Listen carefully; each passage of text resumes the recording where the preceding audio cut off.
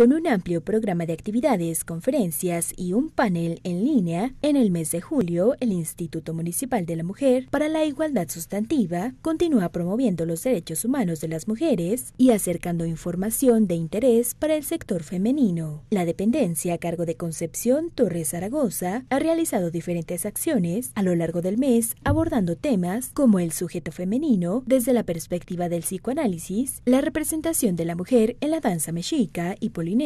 clases de yoga, por mencionar algunas. El próximo viernes 31 de julio se abordará el tema Previniendo la demencia día a día desde tu hogar a cargo de la maestra Mariana Junco Muñoz, investigadora del Centro de Investigación Biomédica del Instituto Mexicano del Seguro Social. En la tarde del mismo día, a las 17 horas, se llevará a cabo el panel Las Voces Confinadas, Mujeres Locas, Aportaciones, Enlaces, desde el psicoanálisis y el feminismo, con la participación de Paulina Monserrat Jacobo Jacobo y de Maureen Elena Treviño Carrasco, integrantes de la comunidad Espacio Terapéutico. Las actividades se transmitirán a través de la fanpage de Facebook Instituto Municipal de la Mujer para la Igualdad Sustantiva, por lo que se invita a todos y a todas a conectarse y a participar.